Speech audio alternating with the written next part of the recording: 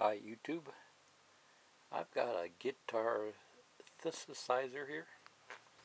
It's an older one, a GR50.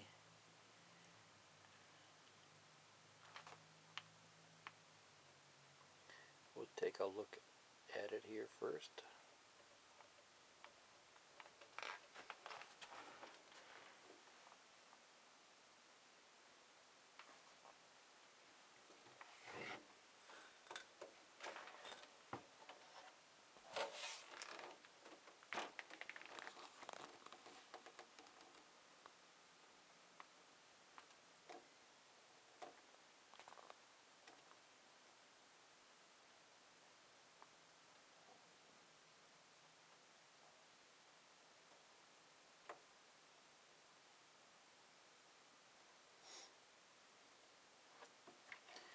Okay, so what's this about? You see here, you plug you plug your guitar into here. There's a special cord for it. You can put headphones in here. Uh, this is just a volume, just a normal volume.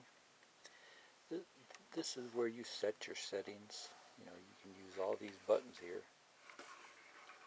control the settings here. Memory card. You see it's an old-fashioned memory card. I, I bought this guy probably uh, mid 90s or so. Power button. So you can create your own settings here and save them onto a memory card here.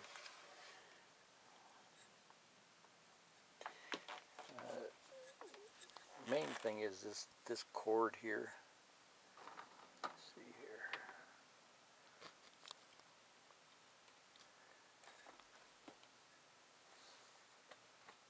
Here's here's the cord.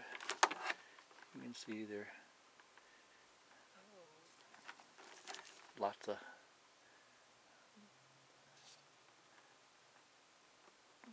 pins there. So this end would go into here. And then this end goes into the guitar. And you can see there's actually two parts to this side here. Yeah. This goes onto the unit on, on the guitar. There's a plug for that one and a plug for that one. And then that plug would go into the guitar as normal. The reason for that is you can play the th you can play the th synthesizer here, or you can play it as a normal guitar with this plug here. So we'll talk more about that in a bit here. So on the back of this thing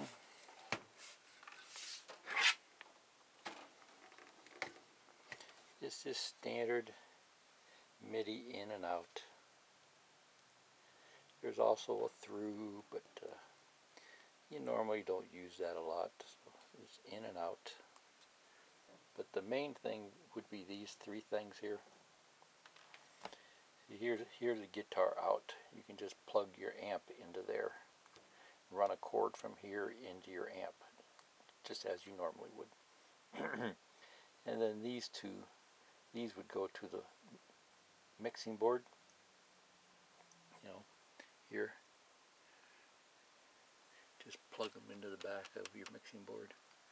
So that's how you would get the synthesizer sounds into your your re recordings.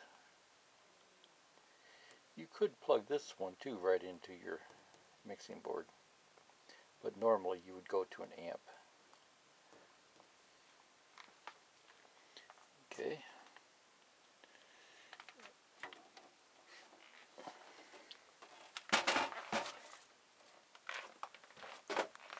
here's the uh, here's the item on on the guitar.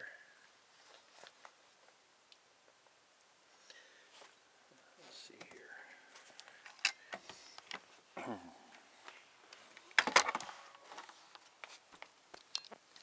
so the big plugs would go into here.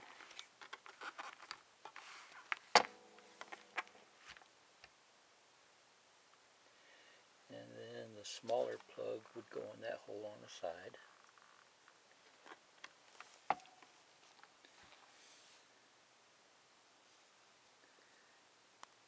This is just a volume button. It, it, it's been a while since I've used this thing, so I'll have to read up it. This just switches between you could have straight guitar or straight synthesizer, and, and or you can have both. So you could have synthesizer sounds coming through, and you could have guitar sounds. But the the weird thing is, uh, connected to this, there there's a pickup, just as you would have any old pickup. So you could have these professionally installed at, at the guitar store. But back in the uh, 90s when I bought this, I just did it myself. Uh, I just followed the instructions. Uh, I think I called the store and they wanted a couple hundred bucks just to stick this thing on. And uh, main thing is that you get these lined up in the right spot. Okay, so I just wanted to show it. And uh, see, just so you know what I'm talking about here with this cord. See, it's got this real thick cord. These cords back then were 80 bucks a long or more. So this just goes into here. And then this one would go into here.